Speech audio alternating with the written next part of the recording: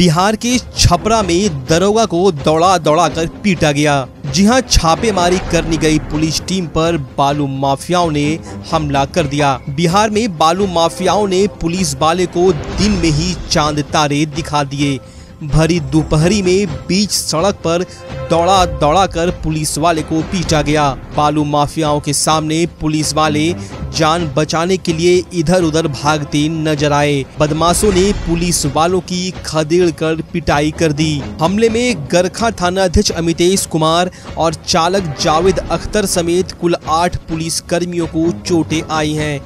आनंद फानन में सबको छपरा के सदर अस्पताल में भर्ती कराया गया। दरअसल गरखा थाना अध्यक्ष दल बल के साथ बालू माफिया की ओर से किए जा रहे धंधे पर रोक लगाने और गिरफ्तारी को लेकर छापेमारी करने अवतार नगर के आमी गाँव गए थे।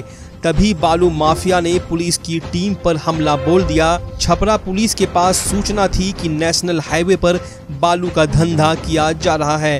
इसके बाद पुलिस छापेमारी करने के लिए जा रही थी।